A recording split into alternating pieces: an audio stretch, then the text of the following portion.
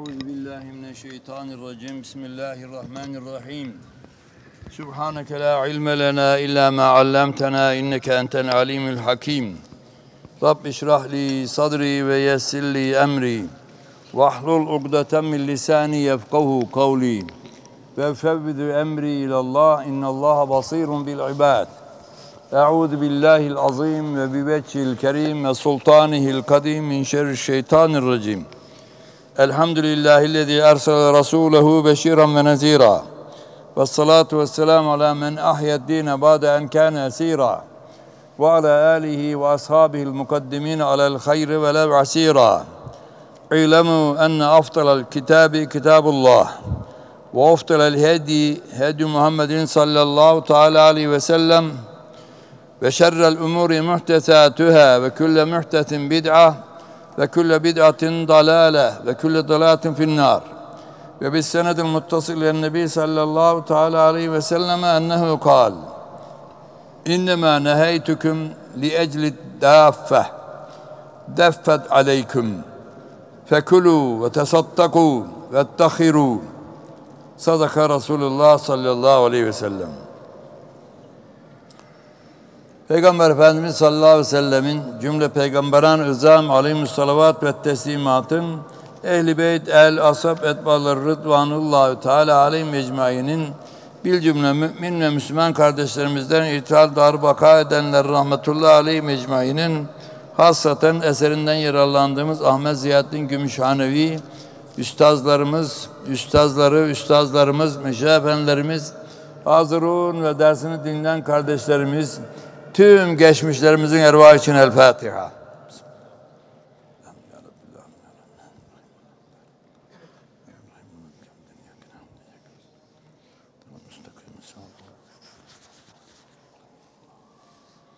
Bismillahirrahmanirrahim. Resulü Mustafa sallallahu aleyhi ve sellem Efendimiz buyuruyor. İnnemâ neheytüküm li ecli dâffeh.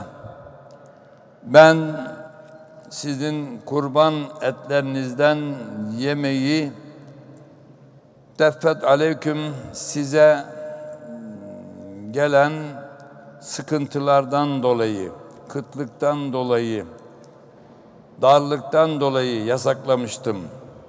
Fekulu ve tasaddaku ve tahiru. Artık şimdi kurban etlerinizden yiyiniz. Tasadduk ediniz. Depolayınız, biriktiriniz. Evet, kurban kesmek Kur'an-ı Kerim'de Kevser suresinde İnna atayna kel kevser fasalli li rabbike venhar inne şaniyeke huvel ebtar. Bu surede venhar. Rabbin için namaz kıl ey Habibim ve kurban kes venhar. Kurban edilecek hayvanları boğazla anlamına geliyor. Bu emir gereğince kurban kesmek Hanefi mezhebine göre varlıklı olanlara, sadakayı fıtır verenlere, o derecede varlıklı olanlara vaciptir. Vaciptir, Hanefi mezhebine göre İmam-ı Azam neden vacip diyor? Çünkü Peygamberimiz sallallahu aleyhi ve sellem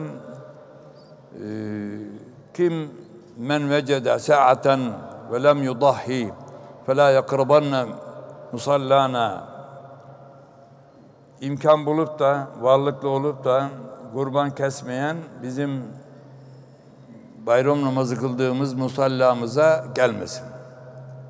Yaklaşmasın. Bu bir ağır tehdit. Sünnetlerin kılınmaması sebebiyle böyle tehdit olmaz. Sünneti kılmayan adam kafasız, kaçırdın treni denir. Fakat başka tehdit yapılmaz. Sevabı kaçırır. Halbuki burada ne diyor Peygamberimiz ne buyuruyor?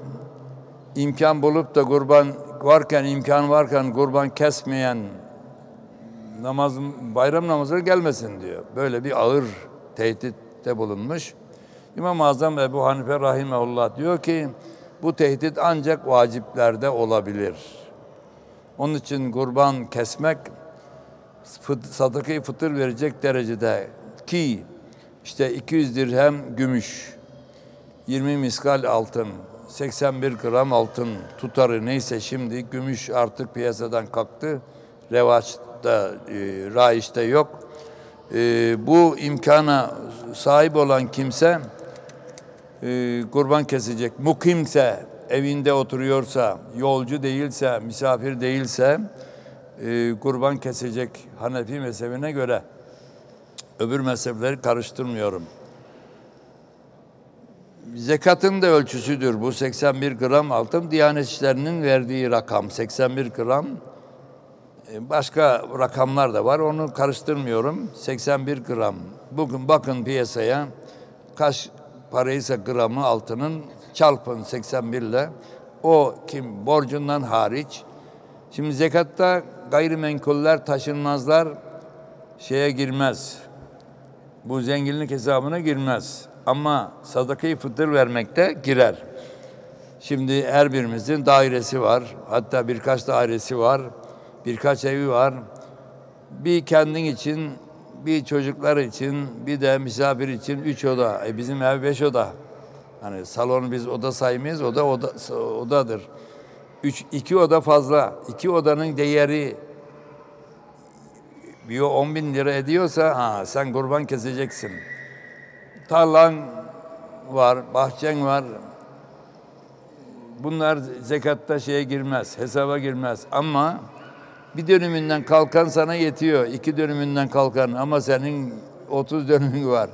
Bunların değeri sadakayı fıtır, kurban kesmekte hesaba girer. Bir gazlık, bir kışlık elbise dinen yeter. Bu kadardır. E şimdi her birimizi beş takım, on takım elbisesi var. Bu iki takımdan fazla elbiselerin değeri 10 bin lirayı tutuyorsa yani kabaca diyorum 81 gram altın şimdi 10 bin lira mı daha fazla mı ediyor bilmiyorum da o kadar tutuyorsa kurban keser sadakayı fıtır verir. Evet bu zenginliğe ulaşıp da kurban kesmeyen kimse bayram namazları bütün müminlerin cuma namazları, bayram namazları bütün müminlerin birleşmesi için bu hikmete mebni emrolmuştur.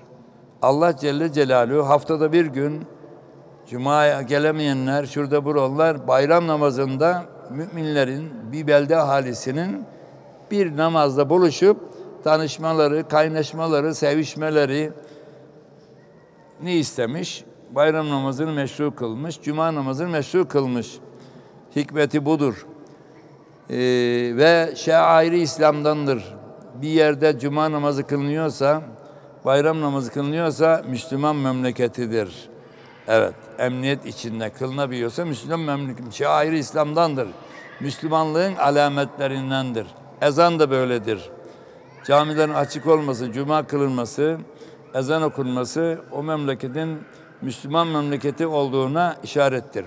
Tabii bu konuda birçok müştehitlerin görüşler var da bir memleketin tarihinde din uygulanmışsa ki dinin karşılığı şeriattır. Şeriat deyince bazı adamlar ürküyor da onun için din diyorum. Şeriat uygulanmışsa idaresinde, işlemlerinde tatbik edilmişse sonradan diyor şeriat gitse bile o kimselerin e, o memlekette yaşayanların çoğunluğu Müslümansa, ezanlar okunuyorsa, camiler açıksa, cuma bayram namazı kılınıyorsa o memleket Müslüman memleketi olmakta devam eder diyor İmam-ı Azam Ebu Hanife Hazretleri. Onun için e, bu ölçüye göre davranır davranacağız. Şimdi musalla niye diyor Peygamberimiz? Memleketin ahalisinin hepsini bir cami almaz. Onun için açık araziye çıkarlardı. Müslümanları toplayacak, hepsi birbiri aynı cemaat olacaklar, namaz kılacaklar, bayramlaşacaklar, tebrikleşecekler, tanışacaklar, bilişecekler, buluşacaklar. Fakat İmam-ı Azam Ebu Hanife rahimehullah zamanında Abbasilerin ilk devirlerine yetişmiş, Emevilerin son devirinde yaşamış. çok ilerlemiş. Abbasiler döneminde meridyenleri, enlemleri, boylamları biz, Müslümanlar buldu. Ekvatorun çevresini biz bulduk. Cebir mebiri bizi icat ettik. O kadar ileri gittik ilimde, teknolojide ve de çok da kalabalıklaşmış Bağdat. Ee, bakmış ki bu, bu kadar insanın cuma namazına bir yere getirmek çok büyük zorluk. Gelmeye kalksa adam bir gün evvelden yola çıkması lazım. Şimdi İstanbul 20 milyon dışarıdan gelenlerle İmam-ı Azam çok haklı. 20 milyonu 5 milyonu cuma namazı kılar. Hani çoluk çocuk kılmayanlar çıkarırsak 5 milyon cuma namazı kılar. 5 milyon insanı alacak bir meydan nasıl bulacaksın İstanbul'da? Öyle bir arazi, boş arazi nasıl bulacaksın? İşte Gazlı Çeşme'de bir yerde bir denizi doldurdular. İtirazlara rağmen denizi niye dolduruyorsun filan diye itiraz edildi. Bir şehrin bir böyle açık arazisi olsun mitingler filan. Kaç bin kişi alıyor? 5 milyonu mümkün değil almaz. Bir. Hadi böyle bir arazimiz var diyelim. İstanbul'un bir başından bir başı 160 kilometreye çıktı şimdi. Merkezinde arazi bulsak 80 kilometre. E şimdi Anadolu yakasından İstanbul yakasına sabahleyin gelirsen saat 8'de iki buçuk üç saatte geçiyorsun. Bazen dört saatte. Şimdi 80 kilometre uzaktan adam şehrin ortasına gelmeye kalksa bir gün evvelden yola çıkması lazım. Yoksa Cuma'ya yetişemez. Zorluk var. Zorluk var. Dinde zorluk yoktur. Kur'an'da ayet var. Dinde zorluk yoktur. Onun için diyor ki İmam-ı Azam iştihatta bulunmuş. Evet, cuma namazı müminlerin toplanması için farz olunmuştur. Adı cuma, toplayan namaz. Cami de müminler toplayan yer. Allah'ın evi, cami, toplayan demek. Öyledir ama zaruret var. Devletin izin verdiği, herkese açık olan, herkese açık olan, her mümin girebilir şekilde kapılar herkese açık olan. Evet şimdi bazı cemaatler var. İşte bir yerleri var. Toplanalım kendimiz kılalım diyorlar. Öbür imamlara güvenmiyorlar. Kesinlikle cuma olmaz. Kesinlikle cuma olmaz. Her mümin girebilmeli oraya. Kapı açık olmalı. E gelmiyorsa problem yok ama kapı herkese açık olmalı. Onlar diyor ki hayır Başkası girmez. Biz kendi cemaatimizle öbür imamlara güvenmiyoruz. Kendi imamımızlık o bu cuma olmaz. Kesinlikle olmaz. Devletin izin verecek, emniyetini sağlayacak. Devletin izni olacak ki onu şimdi müftüler izin devletin memuru o izin veriyor. Ondan sonra herkese açık olacak. Herkese açık olduğu şekilde devletten de izin alınınca e, her camide kılınabilir demiş İmam-ı Azam. Onun fetvası üzere şimdi biz de her camide namaz kılıyoruz.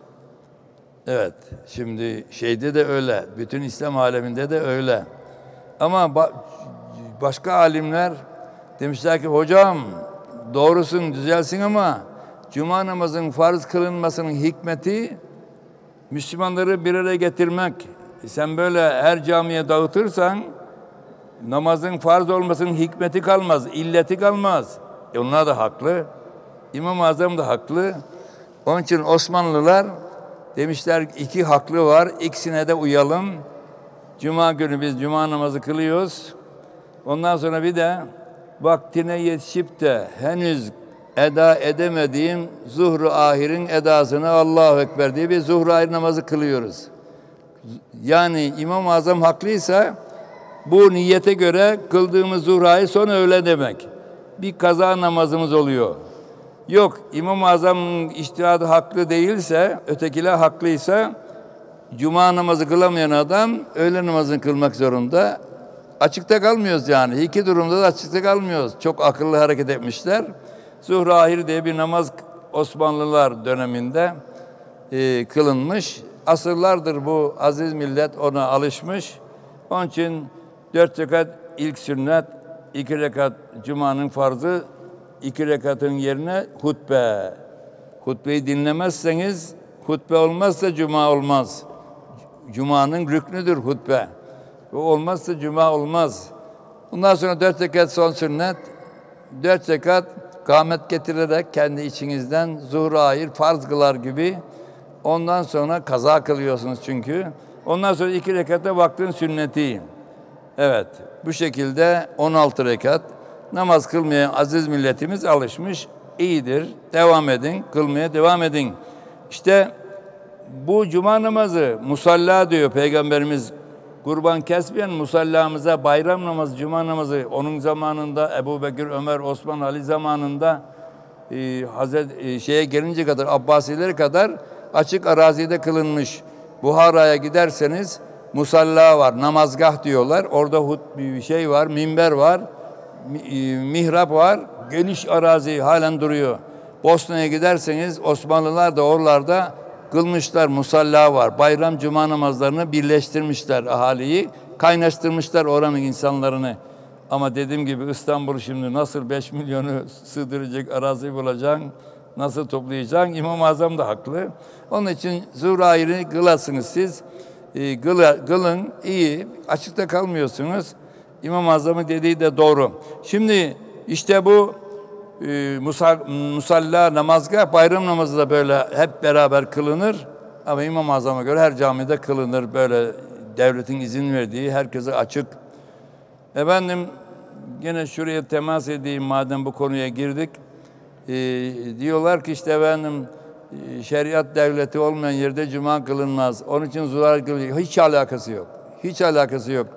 Çünkü Peygamberimiz sallallahu aleyhi ve sellem yeryüzünde ilk cumayı Medine-i Münevvere teşrif ettiklerinde Kuba Mescidi'ni yaptılar.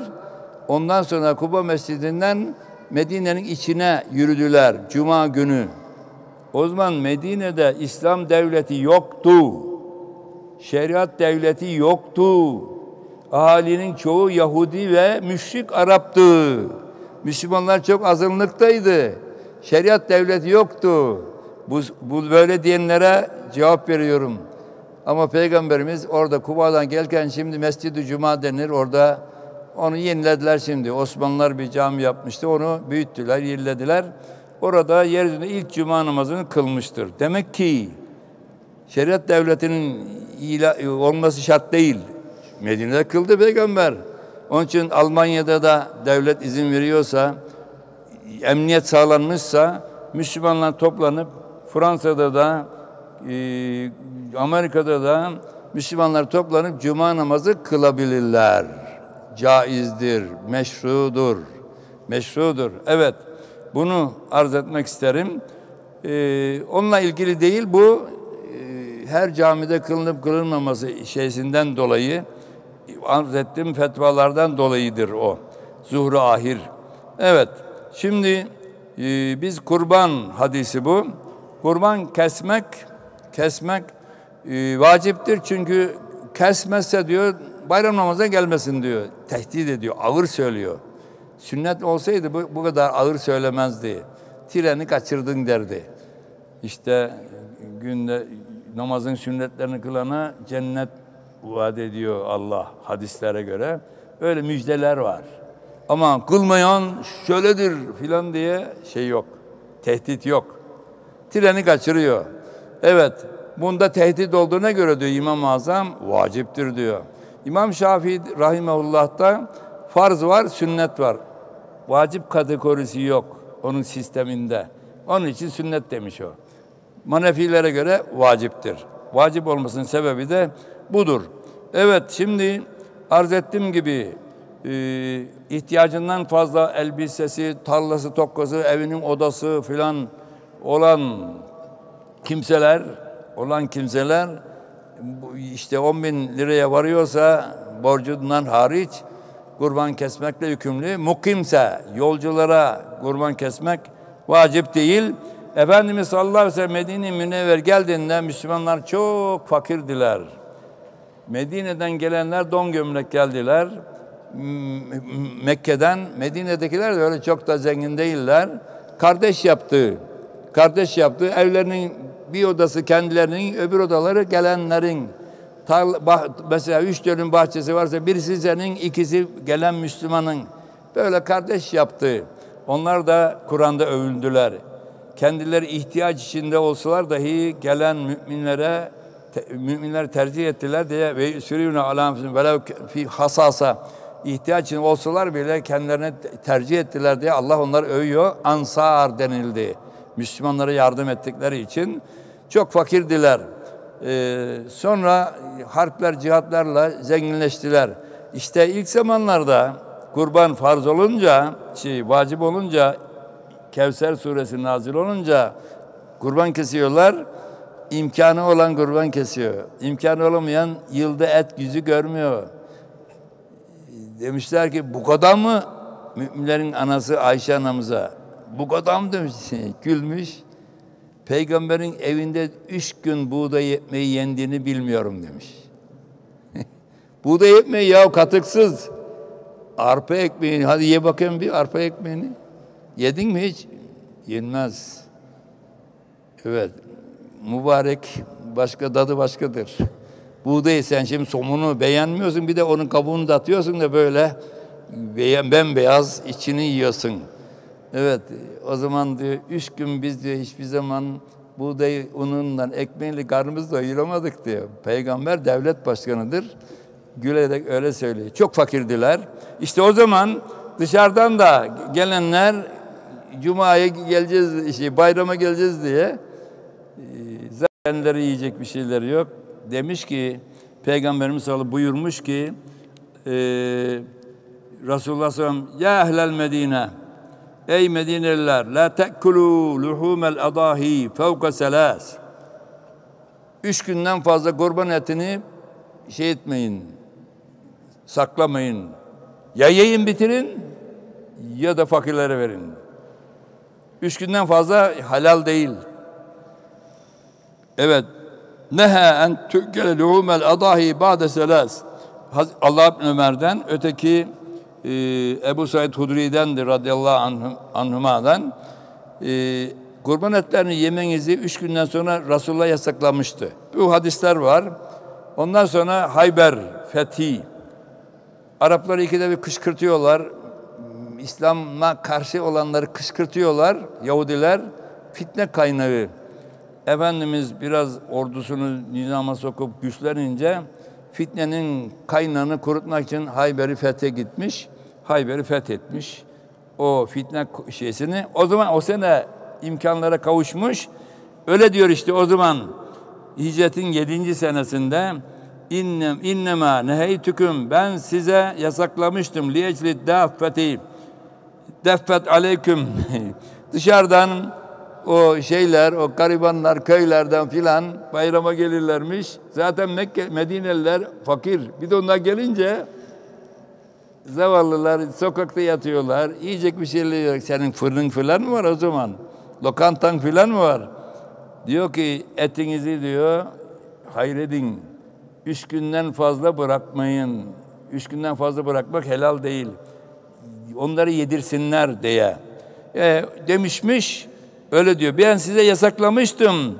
Ama şimdi fekulu kurbanın etini yiyiniz. Ve tasaddaku hayrediniz. İsterseniz hayrediniz. İsterseniz veddahiru saklayınız. Evet koyarsınız, kavurursunuz veya buzdolabınıza, dip frize koyarsınız. Yavaş yavaş her gün, her zaman yersiniz. Serbestsiniz. Fakirlik gitmiş, Herkes kurban kesebilecek duruma gelmiş. Bu hadis onunla ilgili. Evet kurban kesmek e, bayramın birinci günü e, imsak vaktinde sabah namazında adam imkanı varsa Müslüman hayatta mukimse e, ona vacip olur. E, bayram namazı kılınan yerlerde bayram namazından sonra birinci gün, ikinci gün, üçüncü gün kesilebilir ikindi namazına kadar.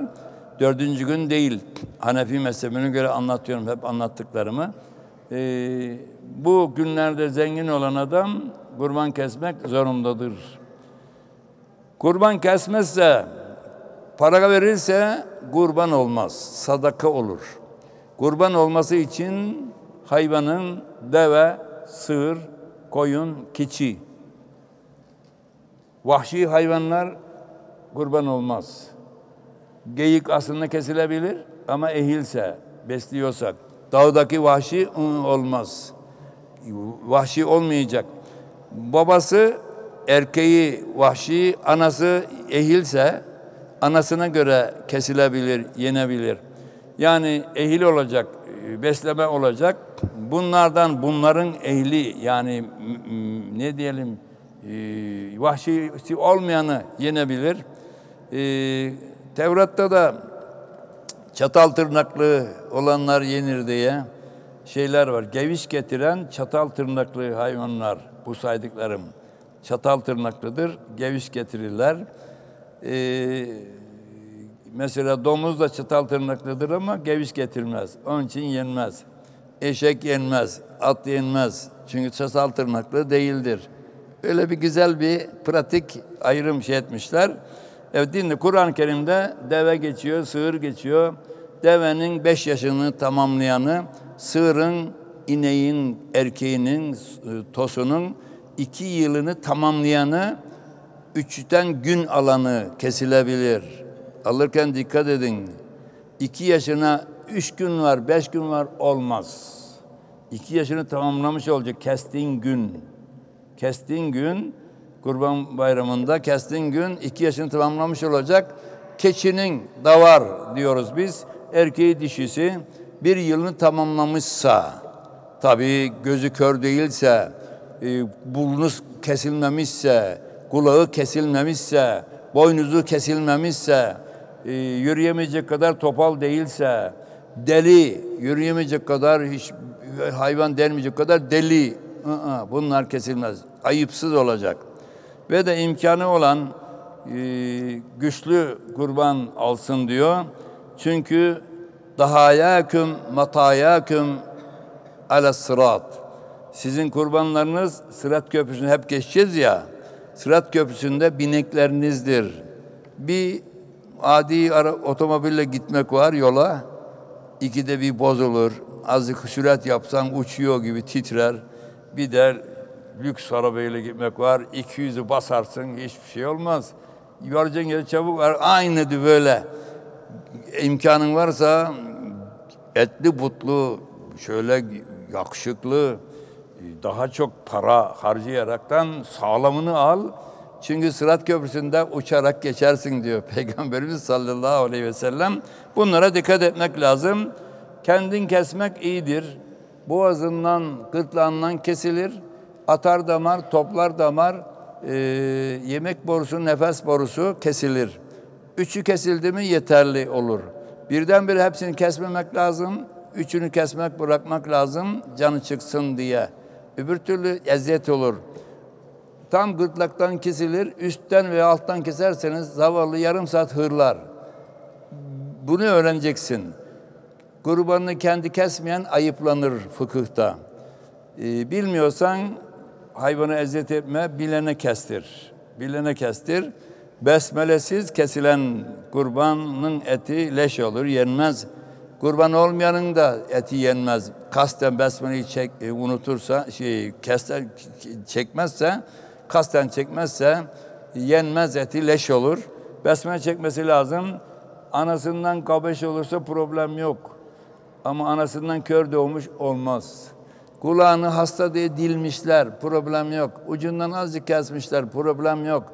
Boynuzun ucunu çok kuvvetli, geleni süsüyor, yaralıyor. Ucundan azıcık kesmişler, problem yok. Ama içindeki beyazı görünmeyecek. Boynuzun içinde beyazı vardır. O görünmeyecek kadar ucundan kesilirse, kuyruğu mesela ucundan azıcık çok batmasın diye kesmişler. Problem yok ama üçte ikisinden fazlası olacak. Üçte birinden çok kesilmişse bunlar ayıp sayılır. E, ayıplı hayvanı kurban etmeyeceğiz. Ayıpsız olanı kurban edeceğiz. Deve, sığır yedi kişi tarafından kurban edilebilir. Yedisi de ibadet kastıyla birleşmeleri lazım. Mesela ben e, evde aldım kurban ama senin tosun çok yağlı. Ee, senin doktor da sığır eti yedi mesela. Mesela. Onun için size bir hissede ben gireyim olmaz. Çünkü o et niyetiyle giriyor. Ama oğluna akika kurbanı keseceksin. Erkeğe iki, kıza bir. Peygamberin emri şeydir. İmkanın varsa kes diyor. Başının gözünün sadakası olsun, iyi insan olsun. Akika. Ha, bu niyetle girebilirsiniz. Bir şu işim şöyle olursa e, efendim kurban keseceğim. Girebilirsin. O da ibadettir. Böyle ibadet kastıyla olabilir. E, geçmişlerinize kurban niyetiyle bir hisse girebilirsiniz. Dedene, babana. Böyle ibadet kastıyla olabilir. Bunlar birleşirler, kurban keserler. İşte Muharrem e, şeyde Zilhicce, Muharrem diyorum şimdi Muharrem olduğu için yılbaşı ilk aylardayız, günlerdeyiz. Efendim Zilhicce'nin e, ilk e, günlerinde, 10 gününde oruç tutmayı çok övüyor Peygamberimiz. Bundan muhteşem ibadet bilmiyorum diyor, teşvik ediyor. 10. gün bayram, bayram gün oruç tutulmaz. E 10 gün demiş peygamber, sabah namazına gidersin, gelirsin, bir şey yemezsin, kurbanın etinden yersin, o günde oruç sayılır. Böylece 10 olur. Böyle usulleri var. Evet, e, küçük çocuklara kurban kesmek mecburiyeti yok. Mecburiyeti yok, sadaka fıtır verilir. Çünkü sadaka baş vergisidir. Ama kurban kesme mecburiyeti yok. Ee, kurban böylece kesiniz diyor Ee, ve yiyebilirsiniz. Zengin de olsanız yiyebilirsiniz. Zengin arkadaşlarınıza yedirebilirsiniz. Dağıtabilirsiniz. Ee, böyle size size bağlı diyor. İster tasadduk edin hepsini, ister yiyin, isterse alın buzdolabına atın yavaş yavaş bir sene yiyin. Hepsi serbest diyor Peygamberimiz sallallahu aleyhi ve sellem. Hazreti Ayşe radıyallahu anha validemizden e, Ahmed İbni Hanbel Hakim Müstedtek'inden e, Ebu, Ebu Said e, ve Katade Hazretlerinden e, külü el-luhumel adahi ve dahiru şeklinde aynı mealde e, birçok hadis nakledilmiş. Allah onlardan razı olsun. Evet. Efendimiz sallallahu aleyhi ve sellem şöyle buyuruyor. İnneme bakiye mined dünya belaun ve fitne. Dünyadan bela ve sıkıntı kaldı. Ahir zamanda dünya sıkıntı yeridir. Dünyanın yaşanacak zamanı geçti. Dünya sıkıntı yeridir. Çok zengin adam bakıyorsun, olmadı. O da her gün böyle deyip durur. Öte, öbür taraftan metali olmayan adam da yiyecek yemek bulamamış. O da böyle söylüyor. Dünya sıkıntı yeridir diyor. Ahir zamanda dünyanı, dünyadan bela ve fitne karışık her tarafta görüyorsun öldürmeler, kesmeler, topluca vurmalar, kavgalar hepsi hepsi fitne karışıklıklar var. Ee, sadece şurada burada değil dünyanın her tarafında var. Dünya ahir zamanda fitne ve bela kaldı. Ee, fesat kaldı. İnnem meselu amel ahadikum sizin amelleriniz böyle zamanda. Şimdi biz de böyle zamanda yaşıyoruz. Durumumuz ne olacak hocam? Şimdi ne güzel söylüyor bak. İslam'ı bileceksiniz. Hangisi haram, hangisi helal. Fıkıh bileceksiniz. Sadece camiye gitmeyle iş olmuyor. Namazın kılınmasının şartları var arkadaş. Abdest almayı bilmiyorsun, namaza durmuşsun. Fayda verir mi? Namaz geçerli olur mu? İslam'ı bileceksiniz. Kurallarını bileceksiniz. Adam Allah'a küfür ediyor, kafası kızmış. Peygamber'e küfür ediyor. Sarığa küfür ediyor. Sarığa küfür etmek gavurluktur. Çünkü bu İslam alametidir. Giymeyeceksen giymezsin ama sarığa küfür edersen, tahkir edersen gavurluktur. Ben hocaların fetvalarını İmam Bagavi söylüyor. Eserinde açık söylüyor. Maalim-i Sünne. Ee, orada söylüyor. Ee, çünkü İslam'la gavurluğun aya, ayır, ayın kriteridir bu sarık. Ondan sonra sakal peygamberin sünnetidir. Mars'ta da var sakal. Ben peygamberin sakal bıraktı diye bırakıyorum. Efendimizin sünnetine. Benim sakalımı hakaret edersen hocalar öyle diyor kitaplarında. İmanınla oynarsın arkadaş. Sakal peygamberimizin emrettiği hiç hayatında kazımamış. Yüzünü kazıtmamış. Evet. Öyle bir farz diyen var. Sünnet diyen var. Dini işlerde de garantili olanı yap. Bak eğer bir sıkıntın yoksa, asker değilsen, polis değilsen, başka bir sıkıntın yoksa garantilisini yap, sakal bırak. Bir de şu var, beyaz sakallı olanları Allah azap etmekten haya eder diye bir de hadis var. Belki oradan kurtarırsın yakayı. yani bunları düşüneceksin. Yani dini şeylerde bilmezseniz dinden çıkarsınız. Dinden çıkarsınız. Evet. Onun için ne haram ne helal bileceksiniz bilerek. Neden? Evimizde televizyon var. Televizyon da dünyanın her türlü adetini getiriyor evinin içine. Engel olamazsın ki. Ee, İslam'a uyan yerler var, uymayan yerler var. Nasıl yapacaksın? Bilirsen. Bilirsen korursun imanını. Onun için bilme, bilmek lazım. Bu devirde çok zor. Sokağa çıkıyorsunuz. Bir erkeğin göbeğiyle diz kabuğu arası mahremdir, kimseye görünemez, eşi hariç. Kadının yüzü, eli, ayağı hariç. Mahremler dışında kimseye görünemez. Bu benim fetvam değil. Devletin bastırdığı 1936'da Meclis Karaya bastırdığı Elmalı Hamdi Hoca'nın Kur'an dili, hak dini, Kur'an dili tefsirine bakabilirsiniz. Resmi tefsirdir. Bu söylediklerimi orada bulabilirsiniz. Allah'ın ayeti var. Kadının yüzü, eli, ayağı hariç saçı görünmemeli, kulağı, boynu, gerdanı, kolları görünmemeli. Dinde böyle. Efendim bunu inkar etmiyor. Allah kuzunu eyvallah. Mümindir bir şey demiyorum. Niye? Deresi harammış ya derseniz imanla oynarsınız. Bunun neresi haram ya? Yok diyemezsin arkadaş. Peygamber kuralı koymuş. Ben sana aktarıyorum. Tabii kabul etmek etmemek sana ait ama din işleri böyle rastgele palavra sıkmayla olmaz. Bilerek. İşte e, böyle zor bir iş. Şimdi her taraf öyle. E, televizyon öyle, sokak öyle, ticaret öyle. Müslümanlığı korumak zor değil mi? Evet. Bu zoru aşarsan, haram işlemezsen, dinin kurallarını çiğnemezsen ne diyor bak.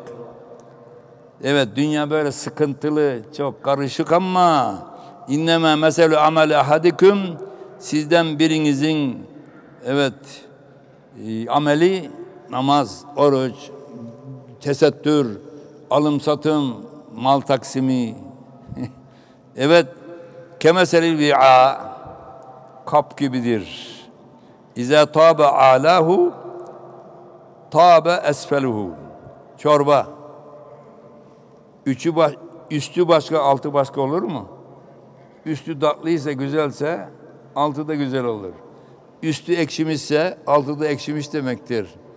Şimdi eskiden bizim orası medrese yatağı. Hep hocalar vardı ben çocukluğum zamanında. Topluca evlere, ziyafetlere gidiler, giderlerdi. E, hocalardan birçoğu da saf.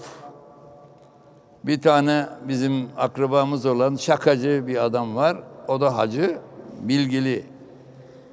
Ziyafete gitmişler. Çorba tası koymuşlar. Eskiden bakır taslar olurdu. Kalaylanırdı. Ona çorba koymuşlar. Bir tane almış, yakmış ağzını. Ağzını böyle kaldırmış. Aha falan. Gözlerinden şapır şapır yaşlar akıyor. Bir başka hoca var orada. Demiş, Hacı sen demiş, baban mı, anan mı aklına geldi? Ondan mı ağlıyorsun? Öyle hoca demiş, onun aklıma geldi. Demiş, hoca ben çorbanın demiş üstünden aldım, sıcakmış ağzımın yaktı. Sen demiş dibinden al, dibi serindir. Ulay üstü sıcak olan dibi serin olur mu ah, hoca? O da onun sözüne inanmış, bir daldırmış. Ağzını boğazını yakmış tabii. Ölünce kadar konuşmadı. Dayımla konuşmadı. Şaka yapmış halbuki. Sen benim ağzı, e canım bak ne diyor be, üstü nasılsa altı da öyle olur diyor çorbanın ya. Üstü sıcak olan çorbanın altı serin olur mu? Ah hoca ya. Böyle ağzını boğazını yakmış. Efendim işte bir kap gibidir sizin amelleriniz dinle arkadaş. Üstü ve izâ habusa alahu habusu asfaluhu. Üstü güzelse altı da güzeldir. Üstü çikinse pisse altı da pistir. Yani ha neyse bitirelim şeyi. Ee, hadis-i şerifi. Evet. Şimdi herkesin yanına gidiyorsun. Kıyafet muazzam. Kılık muazzam. Herkesin içinde disiplinli bir adamsın. Ama kimsenin görmeyeceği yerde işte karıştırıyorsun her türlü pisliği. Çorbanın üstü görünen kısmı. Üstü pis diyor, altı temiz olur mu diyor. Sen diyor herkese böyle gösteriyorsun ama altı diyor karışıksa diyor bu amel olmaz. Böyle amel amel değildir. Ona benzer. Yani bu devirde ticarethanen var. Hacısın, hocasın. Eline düşmüş bir kuş. Ne desen inanıyor. Yalan söyleyip kazıklıyorsun herifi. ne olsa bir şey diyeceği yok. Gelmiş. İşin yaş. Görünen de hacısın hocasın ama baksana herifi aldattın ya. Çürük malı birinci kaliteye sattın. Parayı çok kazanacağım. Mesela misal veriyorum. Böyledir demiyorum da evet ameller nasıl görünüyorsa öyledir. Şimdi güzel görünüp altı çikinse olmaz. Olmaz. Böyle değil.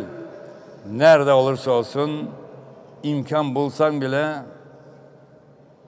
Allah'ın emrini tutmuşsun. Görünüşün de güzel, gizlin de güzel. Üstü de güzel, altı da güzel. Zor bir iş değil mi efendim? Zor bir iş. Bana diyor ki hocam faize karışma yahu. Bu devirde faizsiz nasıl ticaret yapalım hocam diyor. Ben karışmak zorundayım. Ehallallahul bey'a ve harramer riba. Allah alışverişi ticaret helal kıldı. Faizciliği, faizi haram kıldı. faiz yemek, faiz alıp vermek Allah'la Resulullah'la harp etmek demektir diyor. Kur'an'da ayet var. Nasıl saklayayım? Oradan bana muber olanlar oluyor. Ben söylemek zorundayım arkadaş. Yapıp yapmamak sana ait. Benim elçiye zeval olur mu? Bu devirde zar. Hayır. Zarlığa rağmen batarsam batayım. Ben haram işlemem. Beyi verdin mi imkanın varken dikkat edin. İmkanı varken böyle dedin mi öyle diyor Peygamberimiz. Ümmeti ümmetüm mübareke. Mübarek bir ümmettir benim ümmetim. La yedri evveluha hayran ve ahiruha. Benim dönemimdeki ashabım mı çok hayırlıdır? Yoksa böyle her şeyin karıştığı zamanda harama el uzatmayan, göz dikmeyen, harama bulaşmayan o kahramanlar mı daha üstündür? Bilemezsin diyor. Bilemezsin. Yani bu devirde bu zorluklara rağmen Müslümanlığını koruyabiliyorsan sahabilerle berabersin. Zorluk, bu zorluğu yeniyorsun. Onlar da o zorluğu yendi. Allah 3, 4, 5 dep dururken Allah bir ne kadar zor. Etrafım hep böyle söylüyor. Anasına babasına rağmen hayır dedi. Allah bir dedi. Ne kadar zor. Kimisi öldürüldü. Sümeyye.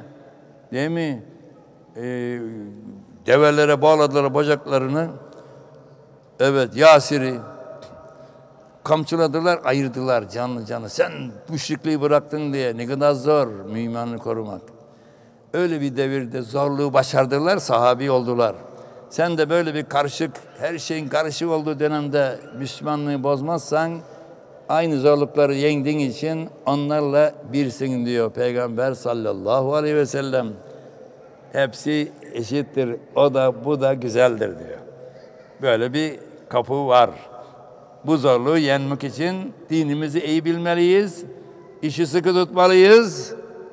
Evet, dikkat etmeliyiz. Böyle bir Efendimizin müjdesi var. Bu hadiste onunla ilgili. Evet, dinimizi bilmeden bunlar olmaz. Evet, şimdi arz ettiğim gibi namaz kılıyoruz. Her zaman söylüyorum. Ee, abdest azaları e, kolları elleriyle beraber dirsekler dahil. Şimdi Şu anda burada gösteriyorlar. Şöyle yapıyor. Bu dirsek kuru kaldıysa abdest olmaz arkadaş. Bu dirsek dahil yıkamaya. İğne başı kadar kuru girerse kalsa abdest olmaz arkadaş.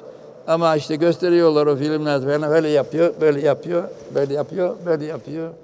Burası kuru kaldıysa olmaz. Sen bunun abdest alırken burası kuru kaldıysa boşuna yatıp yuvarlanıyorsun. Evet. Ondan sonra namaz kılıyor şimdi. Namazda secde yedi azza üzere olur. Ben bunu çok tekrarlıyorum. Çok kimse buna şey etmiyor, dikkat etmiyor. Alın burun bir, iki el üç, iki diz beş, iki ayak yedi. Efendimizin sözü bu. Yedi aza üzere olur ve bütün azalar secdede kıbleye yönlendirilir diyor. Şimdi secdedeyken ayaklarının sırtını koyuyor arkadaşlarımız. Ben cumada görüyorum. Söylesen bir sen mi biliyorsun diyor herif. Ötekiler bir şey demiyor. E, ne yapalım yani? Burada kürsüden söylüyoruz. Çağırsak arkadaş bir sen biliyorsun. Öbür hocalar bir şey demiyor. Bilmiyor hoca. Secdede ayaklarınızı böyle sırtını yere koyarsanız parmaklarınızı kıbleye döndürebilir misiniz? Döndüremezsiniz. Halbuki peygamber kıbleye döndürün diyor. Onun için böyle koyuyoruz, böyle yapıyoruz. Kıvrılmıyorsa hiç olmaz baş, ucu değecek. Parmakların ucu. Böyle yaparsanız secde yok. Secde yok, namaz yok. Hani bilmezseniz bakın namaz da boşa gider, oruç da boşa gider, haç da boşa gider. Bu devirde öyle bilmek lazım. Bilmeden Müslümanlığımızı koruyamayız. Zor. İşler çok karışık. Bu karışık dönemde bilgi olacak. Bilerek hareket edeceğiz. Zorlukları yeneceğiz. Sahabeyle denksiniz diyor Peygamberimiz. Onunla berabersiniz diyor. Allah bize böyle olmayı nasip etsin. Evet. Efendimiz sallallahu aleyhi ve sellem buyuruyor. İnnemâ meselü ümmeti kemeseli mâin benim ümmetimin misali e, yağmur gibidir. Enzelallahu mines sema semadan indiren su gibidir, yağmur gibidir. La yudra el bereke fi evveliha ev fi ahiriha. Bu da birinci hadisin tamamlayıcısı.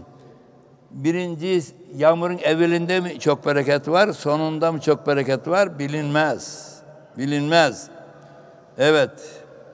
Şimdi ümmetin evveli sahabi.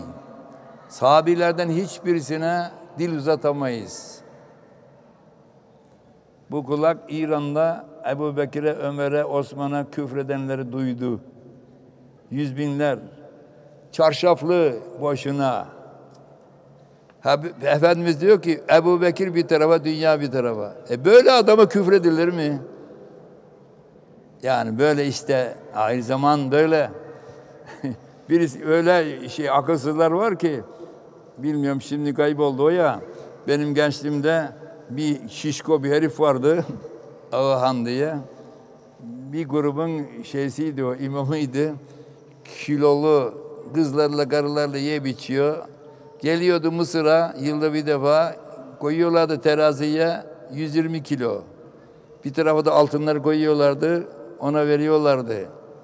Kurtuluyorlardı cehennemden kendi inançlarına göre. o da o paraları götürüyor, karılar da artiste ye biçiyordu. Böyle İslam aleminde çok böyle sapıtmış gruplar var.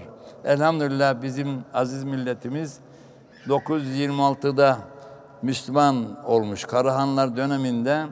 O zaman Satuk Burhan inceletmiş. O zaman da var bu sapık durumlar. inceletmiş. Ehli sünnet inancı biz hiçbir sahabiye sövmeyiz. Hazreti Ali'ye çok severiz. Ama Muaviye'de de sövmeyiz. Evet, e, o işlere karışmayız. Öyle orta yol, ehli sünnet yolu. Kur'an'daki, sünnetteki tariflere göre hareket etmek, onu seçmişiz. Hanefi mezhebini seçmişiz. Asırlardan beri böyle gelmişiz. E, ana halinde hala Anadolu'muzda sarhoş adam camiye gitmiyor. Telefon ediyor bana. Hocam ben hiç namaz kılmam. Hocam ben hiç camiye gitmem. Hocam ben her gün içerim.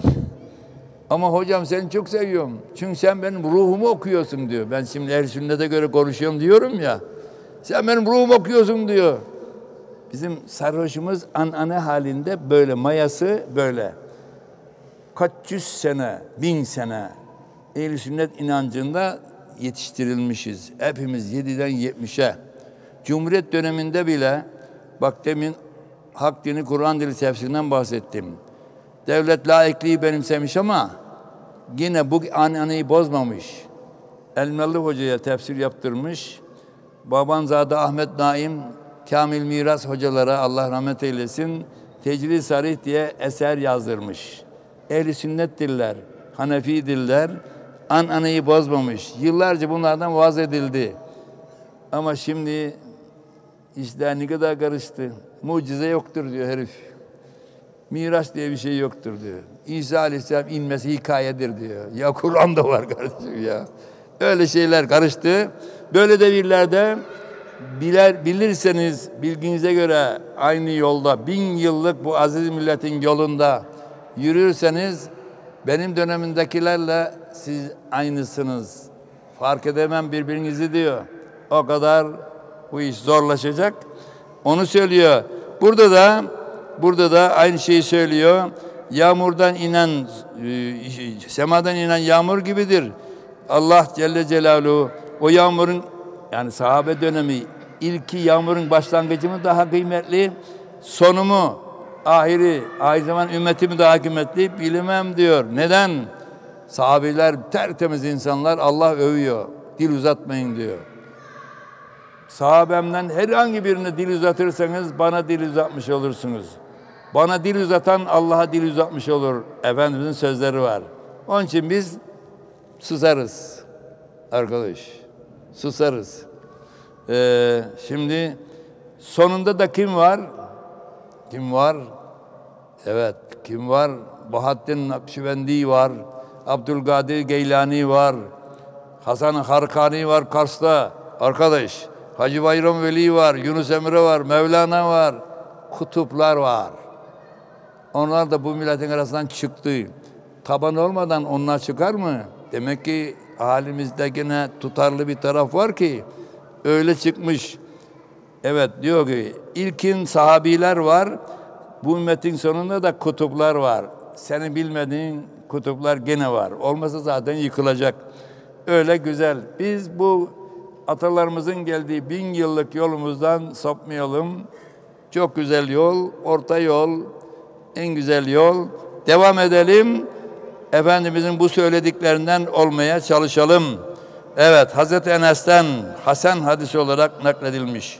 Buna destekleyen bir sürü hadis var. Bir sürü hadis var.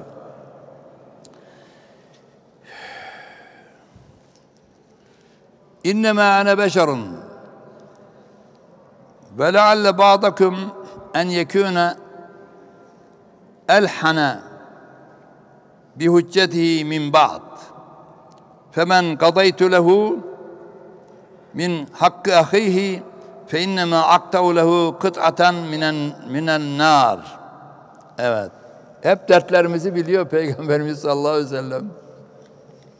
Şimdi adam var çengeli. Nasıl güzel konuşuyor. Adam var biliyor anlatamıyor. İki kelime bir ay değil mi? Öyle adamlar yok mu?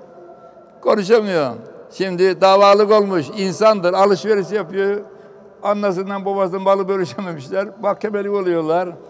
Bir tanesi iki elini birer getiremiyor. Öteki bülbül gibi tak tak tak tak tak.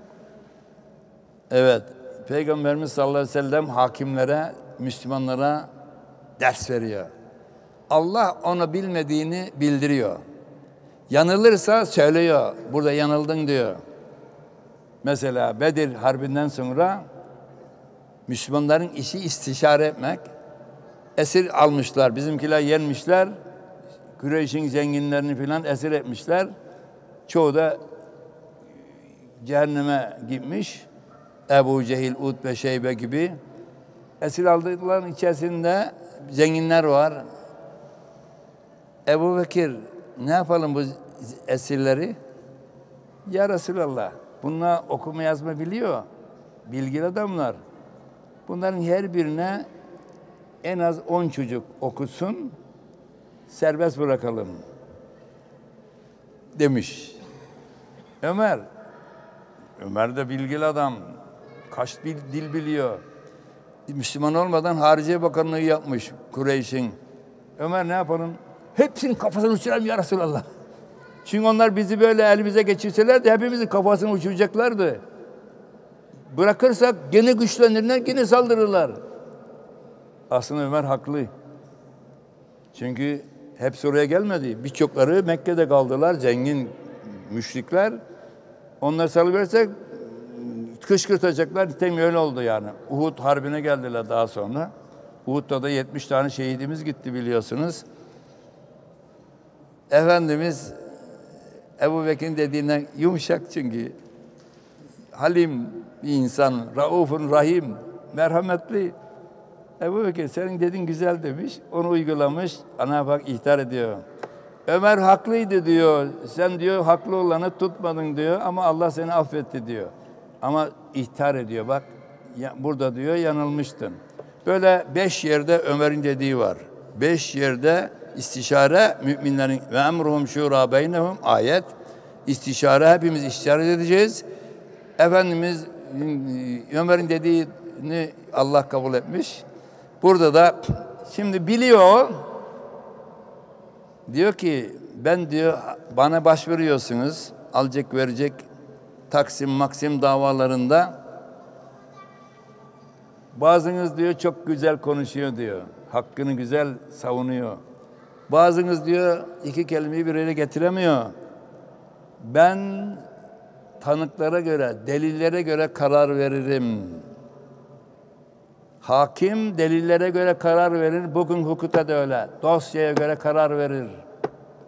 Ben hukukçuyum arkadaş. Hakim dosyaya göre karar verir. Biliyorsun bu haksız ama delil yok. delil yetersinde beratına diyor değil mi hakim? Delile göre karar verir. Kanaata göre veremez. Delile göre İslam'da da böyle. Ödüyor Peygamberimiz. Bana dava getirdiğiniz zaman bazınız çok güzel konuşur. Delil getirmekte filan çok beceriklidir. Ama ben delile göre karar veririm. Ama verdiğim kararda eğer haksızlık varsa ben delile göre karar veririm. Benim yetkim böyle. Ateş parçası yutmuş olur diyor yanlış söyleyenler. Yanlış tanıklık yapanlar, yanlış konuşanlar cehennemde girecekler. Ateş parçası yutmuş olurlar. Evet, buyur, öyle buyuruyor. Görmüş efendim. Şimdi adliyelerde yalan şahitle oturuyor mahkeme salonuna. Hakim diyor ki ya davayı uzatmayalım. Var mı şahidin? Tamam ben gidiyor. Şahit, o 100 lira verdin mi herkes şahit. Nasıl diyeceğim? Görmemiş, etmemiş. Sektör oluşmuş yahu. Peygamberimiz bunları görmüş. Böyle yalan yere şahitlik ederseniz cehennemi boylarsınız. Hakim delile göre karar verir. Evet. Efendimiz sallallahu aleyhi ve sellem hakimlere örnek olsun diye bunları söylüyor. E hocam biz hakim değiliz. Yok. Evde idareci sensin. Hatun var, kız var, oğlan var. Oğlanla kız kapıştılar. Bir taraf tutamazsın, hakimsin. E birisi çok becerikli, babacı diyor. Öteki zavallı somurtup duruyor, bir şey getiremiyor. Aynı şey orada da olur. Veya iki komşu bir yaptılar, seni hakem tayin ettiler mahkeme gitmeden. Ya hocamız veya amcamız şey olsun dediler. Sen de hakimsin. İşte böyle durumlarda evet delile göre karar vereceksin. Kanata göre değil. O tanıklık tanıklık edenler doğruyu söylemeli. Hakime doğruyu söylemezse karar yanlış olacak tabii delile göre. O zaman o yanlış, yalan şahitlik edenler, yanlış tanıklık yapanlar cehennemde yerine hazırlansın. Ateş parçası yutmuş olur diyor. Ne güzel şeyler söylüyor. Yoksa Şimdi hakim de insandır. Onun da evet kanunlara göre hareket edeceği ama o da insan olarak birine kızgın olabilir, birisini çok sevebilir değil mi? Veya bir ideolojiye sahip olabilir, çıkamaz içinde. Ona göre karşına gelen adamı, insanlıkta o zaaf taraflarımız bu. Delile göre karar verir. Kanaatına göre değil. Delil neyse açık delil şuyken onun aksine delil karar en güzel salim yolda budur. Öyle diyor. Ben bir beşerim sizin gibi. Böyle güzel konuşan, güzel delini ortaya koruna göre karar veririm. Düşünün diyor yanlış şahitlik yaparsanız cehennem ateşinde hazırlanınız. Evet hazırlanınız. Böyle şey yapmayınız. Evet. Bu çok önemli bir kuraldır. Bugün hukukta da böyledir. Evet. Kul haklarında kesinlikle hmm, dürüst davranmak zorunda. Adaletin ortaya çıkmasını hmm, sağlamak zorundayız. Böyle yanlış delillere göre yanlış söylenir de fe inneme aktavu lehu kıt'aten minen hmm, eğer ben bir karar verirsem cehennemden ateş parçası e, onun hükmetmiş olurum. Kur'an-ı Kerim'de de var. İnneme ye'kulune fi buturim nara. Karınları ateş doludur. Başkalarının hakkını yiyenler. Ayet celle bu. Efendimiz de böyle diyor. Hakimi yanıtanlar böyle olur. Böyle olur. Hazreti Enes'ten İmam Malik, Ahmet İbni Hanbel, Ümmü Seleme'den evet nakletmişler. Allah onlardan razı olsun. Allah onlardan razı olsun. Evet, şimdi de namazla ilgili bir hadis-i şerif geliyor. İnnehu lev ahtese fis salati şey'ün Evet. Lenebe lenebbe'enneküm bihi evet lenebbe'tüküm bihi velakin innema ana beşerun ensa kema tensevne. Fe izâ nesîtu fezekkirûnî ve izâ şekke ahadukum fi salâtihi fel yeteharris savâb. Fel yutimme aleyhi sümmel evet bu da namazla ilgili. Hep bize öğretmek için aslında Efendimiz masumdur. Allah tarafından korunuyor. Çocukken korundu. Ve duha Kayboldum da seni buldurmadık mı? Değil mi? Orada ayet celle var. Sen her yerde evet inneke bi hep kontrolümüzü altındasın, gözümüz önündesin. Ta eskiden beri. O kadar pislik bir cemiyette yaşamış, baba yok, yetim, ana ölmüş küçükken Efendimizin hayatında tek leke yok. Allah koruduğu için, Allah gözettiği için. Öyle diyor Voltaire hayatı boyunca kiliseyle uğraşmış, dinsiz tanınır. E, papazların ne sahtekar olduğunu görünce din buysa demiş ben dinsizim. Hep uğraşmış. Şimdi olduğu gibi papazlar gene peygamberimize zampara demişler, terörist demişler. Size inanmam demiş. Sizin ne olduğunuzu biliyorum. O kelimeleri ben söylemiyorum. Onun söylediği. Evet, peygamberimizi incelemiş. UNESCO'da cahiliye Arapların yaptıkları Peygamberin gençliğinde öğreniliyor. Nasıl adam olduğu. Adını öğrenmiş. Diyor ki kitabında Vokabilör filozofi. Evet, e, felsefe lügatçesi İstanbul Üniversitesi kütüphanesine var. Muhammed Baddesi'ne bakabilirsiniz. Fransızca bilenler. Sizi gidi iftiracı hain papazlar sizi Muhammed'in hayatında bilinmeyen hiçbir nokta yok. Onu bir dinsiz söylüyor. Muhammed'in hayatında hiçbir leke yok diyor. Voltaire söylüyor. Bakabilirsiniz. Allah korumuş öyle bir çirkef bir toplumda pırıl pırıl. Hayatında da peygamber olduktan sonra da tabii Allah koruyor da onu sevmiş, kainatı yaratmış. Korumaz mı hiç? Ama bize örnek olduğu için Efendimiz sallallahu aleyhi ve sellem şimdi hadisleri böyle anlayacaksınız. E, hadisimiz böyle. E, şimdi ben de diyor bir insanım. Evet, mahkemede böyle davranırım. Şimdi onu anlattım. Namaz kıldığım zaman da diyor bize örnek olmak için yanılmış. Yoksa peygamberimiz yanmazdı ya. Biz şimdi namaza duruyoruz. Hmm, hanım evden çıkarken akşam şuraya gideceğiz dediydi. Şimdi geç kalırsak e, namazda bu kafamızdan bunlar geçiyor. Tarlaya gidiyoruz, dükkana gidiyoruz. Arkadaşımız gelecekti geç kalırız karşılamaya. Ondan sonra dört mü kıldım, üç mü kıldım? Değil mi? İşte bunlarda ne yapacağız? Bunu öğretecek şimdi bize. Şimdi bir namazda e, Peygamberimiz yanılmış. Söylememişler. Sonra selam ettiğinde demişler ki yanıldın. E niye hatırlatmadınız? Ben öyle diyor. Ben de sizin gibi bir insanım. Evet sizin gibi bir insanım.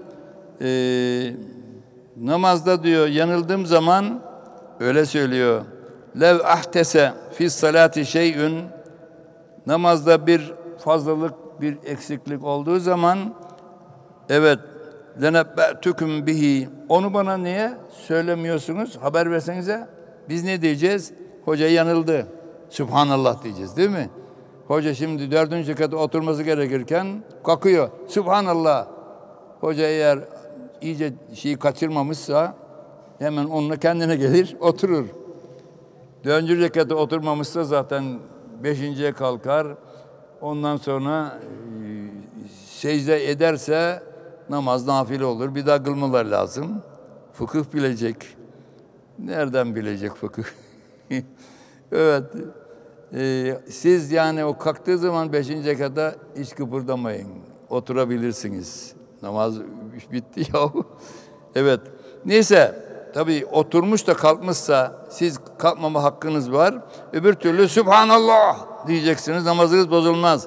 Böyle bir şey olduğu zaman siz beni hatırlasanız da ve innema ene beşerun mislüküm ben de sizin gibi bir insanım.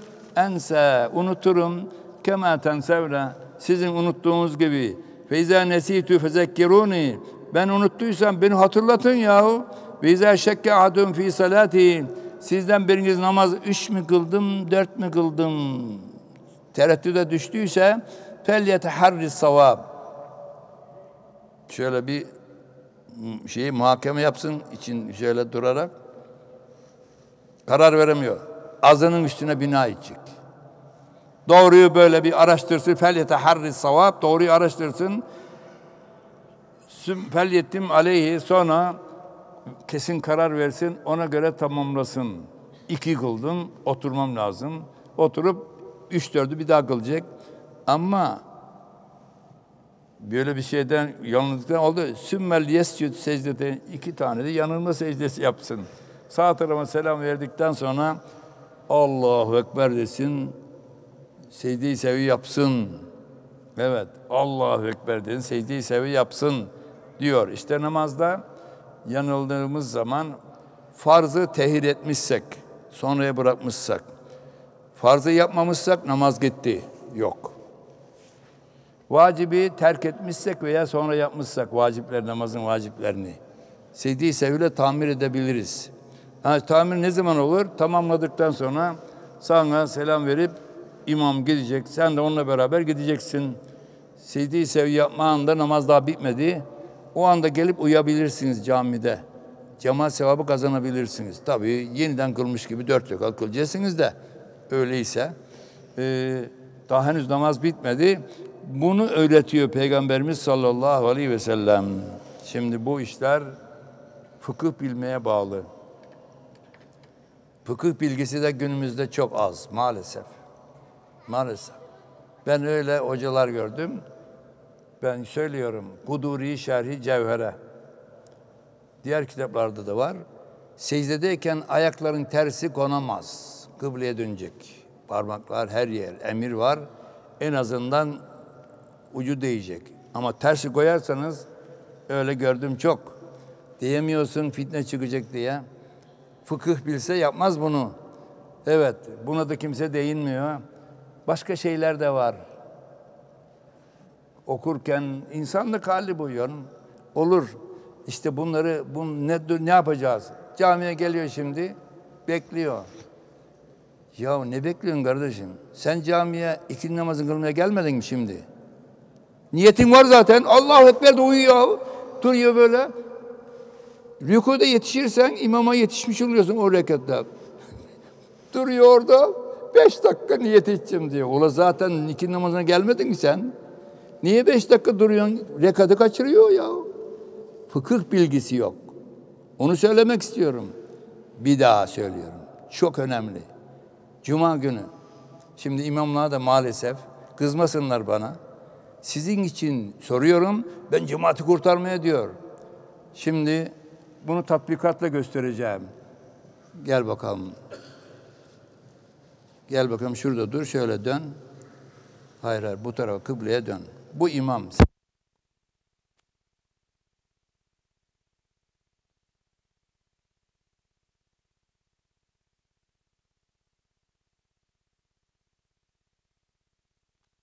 Geçir bakalım. Evet şimdi çok önemli bakın.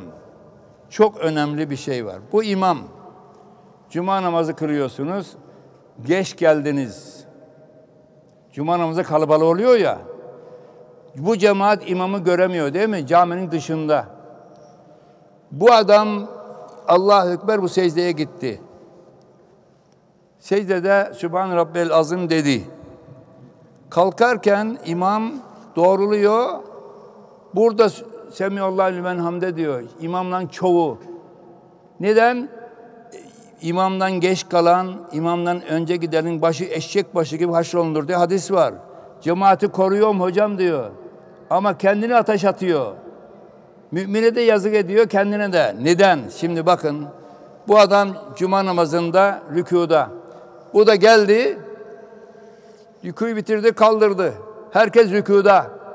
Neden rükuda? Semiyallahu limane demedi çünkü. Kalktıktan sonra söylüyor. Halbuki bu adam buradan bitirdiği zaman sersi burada söyleyecek. Semi Allah limen hamide. Deyince ha rükuyu kaçırdım diyecek o. İmamı görmüyor. Caminin dışında.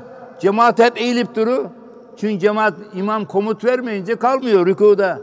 O da herkes rükû ediyor diye o da imama son rekatta yetiştim diyor. Halbuki hiç yetişmedi. İmamla beraber şurada sırtlar düzlenmeyince rükuda bu rekat kaçtı arkadaş. Şimdi maalesef bu çok oluyor. Geç söyleyince bu adam herkes yatıyor rükuda diye gelip imama uyuyor. O rekata yetiştim diye kılmıyor. Halbuki kılmadı. Çünkü imam rükudayken yetişmedi. Bu neden oldu? Bu geç komut verdi. İşi bitince burada sesi burada söyleyecek burada. Sa mi Allah derken ha diyor bitti rükû ki uymayacak. Anladınız mı?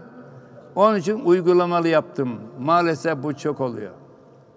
Kalabalık yerlerde bu çok oluyor. Teşekkür ederim. Maalesef, maalesef bu çok oluyor.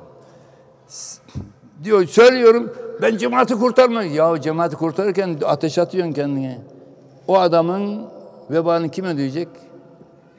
El imamı daminun. İmam kefildir. Hesabı imam verecek. Hadis bu. İmamlık çok güzel yerdir. Çok peygamberin makamıdır ama bir yanlış yaparsan da 500 kişinin hesabını ondan soracaklar. El imam daminin diyor peygamber. Onun için sen görevini tam yap. Öteki kendini kurtarabilse kurtarsın. Geç komut verdiği için bu çok oluyor rükuda. Rükuda yetişemiyor adam. Buna rağmen namaza uydum diyor. Herkes rükuda gördüğü için. Çok böyle terli. Zamanında de bitsin bu iş. Zamanında Allah Ekber derken eğilirken Allah'ın ersi yukarıda olsun, ber yerde olsun. Secde kapandıktan sonra Allah Ekber diyor. Kabe'de imam da böyle yapıyor. Orada kalabalık olduğu için diyor söylüyoruz. Onları kurtarmak için diyor ama bu rüku meselesinde namazlar gidiyor.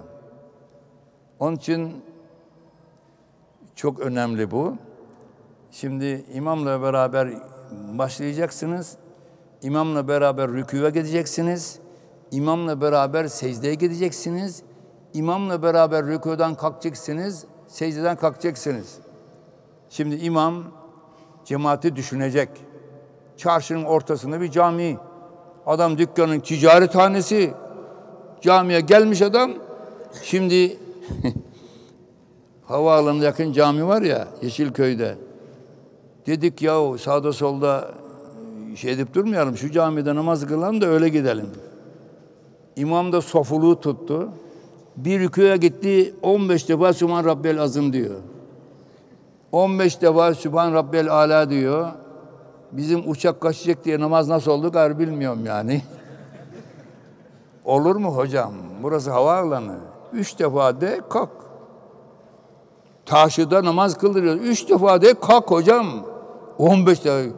Medine'deki 25 defa diyor. Söyleyin bana ne diyor? Sana ne olur mu? Peygamberimiz sallallahu aleyhi ve sellem sabah namazında 40 ayet, 120 ayet okuyun diyor.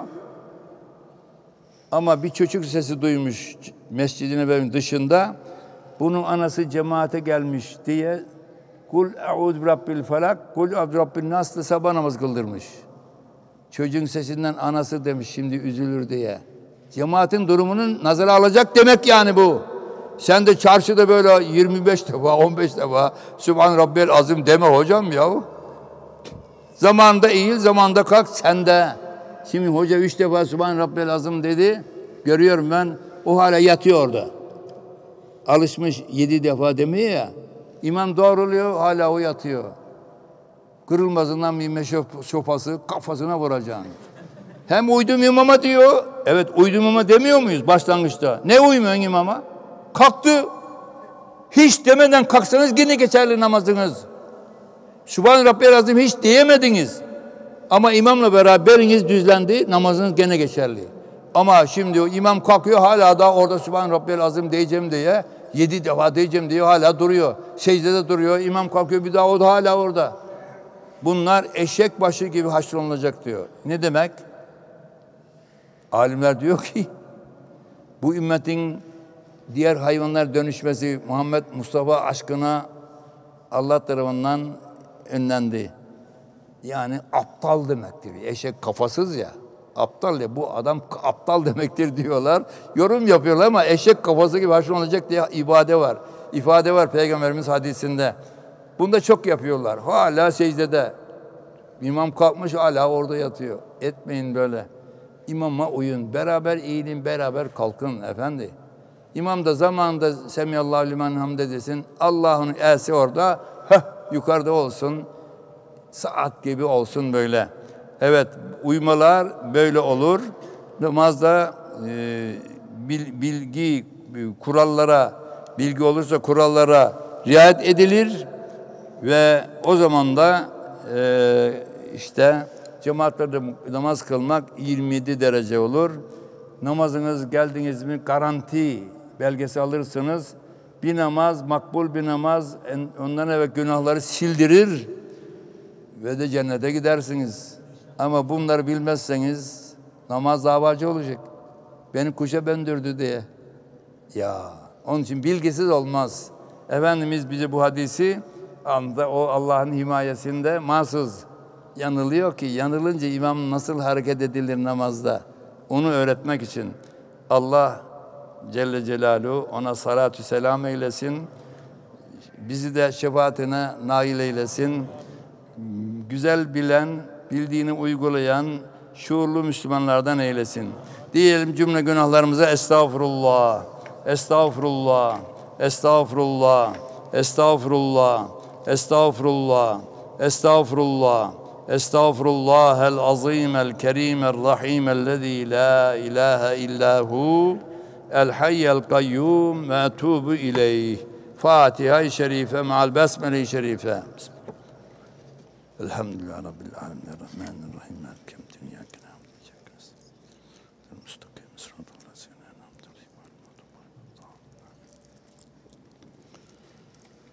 Üçer salavat-ı şerife.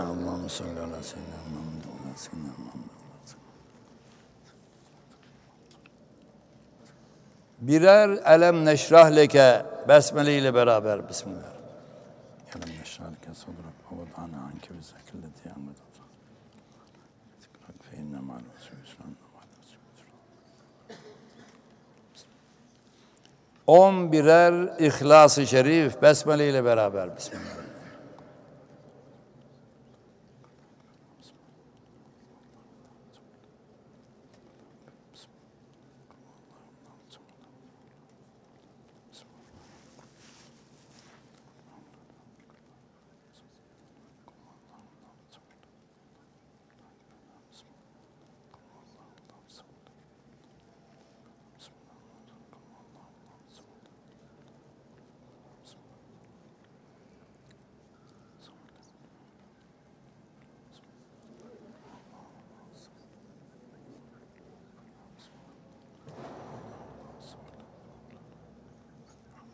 Fatiha-i Şerife ma'al Besmele-i Şerife.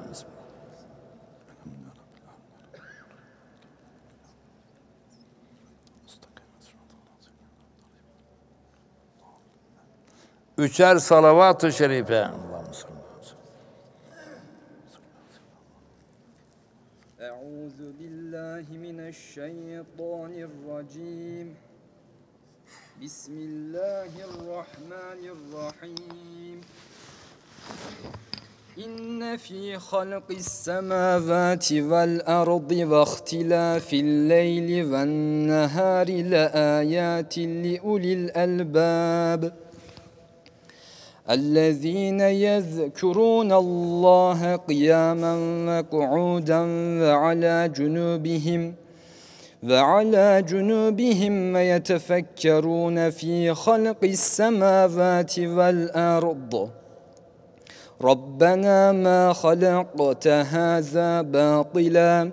سبحانك فقنا عذاب النار. ربنا إنك من تدخل النار فقد أخزيته. وما للظالمين من أنصار. ربنا إننا سمعنا مناديا ينادي للإيمان.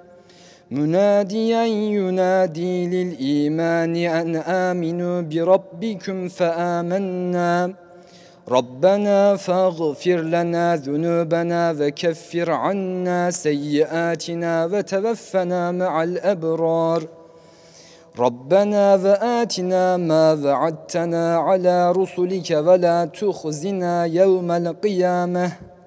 إنك لا تخلف الميعاد. صدق الله العظيم Sübhane Rabbiyel Aliyyil Alel Vehhab. Elhamdülillahi Rabbil Alemin. Ve salatu ve selamu ala Resulina Muhammedin ve ala alihi ve sahbihi ecmain. Allahümme Rabbena ya Rabbena tekabbel minna inneke entes semi'ul alim ve tub aleyna ya Mevlana inneke entet tevvabur rahim. Vehdina ve vaffikna ila'l hakkı ve ila'l necat ve ila tariq müstakim ve ila tariq cennetin naim. Ya Rabbi namazımızı, dersimizi, okuduğumuz Süver-i Celile'yi, ayat-ı Kur'an'ı kabul eyle.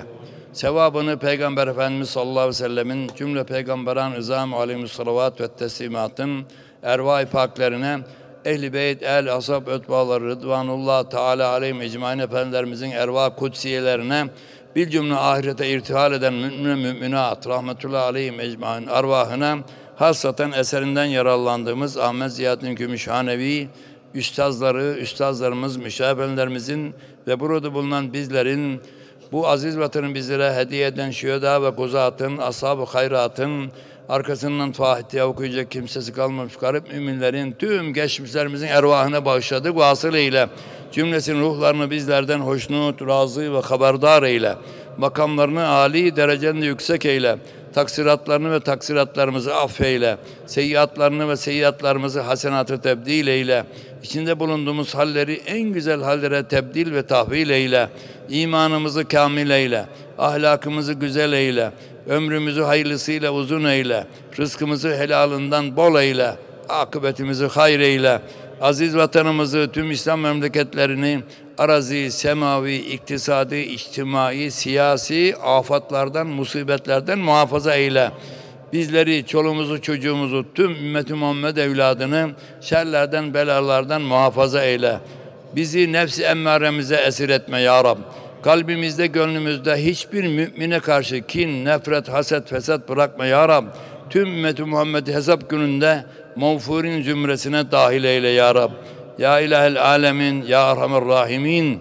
Hayırları celbeyle, belaları defeyle ya Rab. Ümmeti Muhammed'e merhametinle, lütfunla, affınla, kereminle, ihsanınla muamele eyle ya Rab. Kafirlerin, zalimlerin düşündükleri hileleri, Müslümanları birbirinden düşürmek istemelerini kendilerine çevir, hilelerini ayaklarına dolaştır ya Rab. Subhaneke Allahümme ve bihamdik. Neşhedü en la ilahe illa ente vahdeke la şerike lek. Nestağfirük ve netubu ileyk. Subhanu Rabbina Rabbil İzzeti amma yasifun. Ve selamun alel murselin velhamdülillahi Rabbil alemin. El Fatiha.